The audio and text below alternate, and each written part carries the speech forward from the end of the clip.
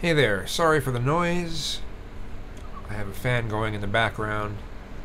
Uh, up here it's gotten really warm. It's uh, close to 60 degrees. So, anyway, this article here just has me confused. It's it's it's as strange as as some of these comments that I've been hearing about, oh no, no, uh, net neutrality is just really just some way for the government to control what you see on the internet. And I'm like, holy crap, what? You know, the Alex Jones type of stuff. And here's here's an article that does the same sort of shit.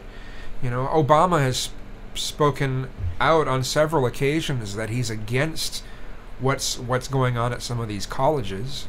You know, Obama is against uh, shutting down speech. He's, he's like, no, people of differing sides need to be able to talk to each other. They need to be able to be heard. And so he may, he he's there. This article is saying, oh, he hates free speech. He's attacking free speech. Um. You know, because, and here's some of the quotes. All of us in leadership have, have to find ways in which we can recreate a common space on the internet. One of the dangers of the internet is that people can have entirely different realities. They can just be they can be just cocooned in information that reinforces their current biases, basically echo chambers, right? Uh, Obama said that social media should promote diverse views in a way that doesn't lead to the balkaniz- balkanization of our society. It's also, by the way, harder to be obnoxious and cruel in person as people can be anonymous, anonymously on the internet. Meet in the pub, meet at a place of worship, meet in a neighborhood, and get to know each other. And he's saying people have different, differing views.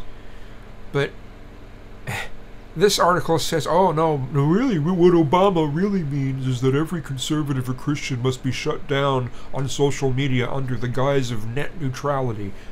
Thank God Hillary Clinton lost the 2016 presidential election. She would have accelerated Obama's tyrannical internet grab, that's completely shutting down conservative ideas.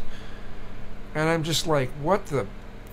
How did they. How in the world did they interpret that out of these things? This is this is the the the, the loss of any sort of logic or reason. This is just like trying to connect dots that aren't even fucking there.